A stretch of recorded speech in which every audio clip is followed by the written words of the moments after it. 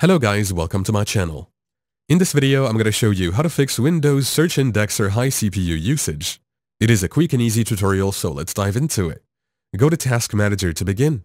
You can do so by tapping on the search menu at the bottom of your screen, or even search right-click on a Windows icon. Let me right-click on the icon. In here, look for it. Click on it to dive right into it. Once in here, you will see all these options.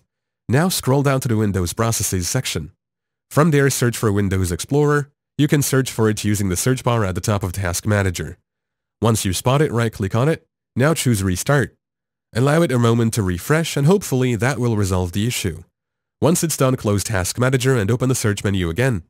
Type in Indexing Options, open that. In the window that appears, tap on the Modify button. Ensure that all items are checked, except for Internet Explorer History. Once you've made your selections, choose your local disk and hit OK. The system will now begin the indexing process, which may take a little while. So be patient. If the problem persists, click on the Advanced button. Then under Troubleshooting, now select Delete and Rebuild Index. Click Rebuild and the process will take some time to complete. Afterward, tap on OK again and allow the system to run the rebuild. It will notify you when it's finished, and hopefully the issue will be resolved.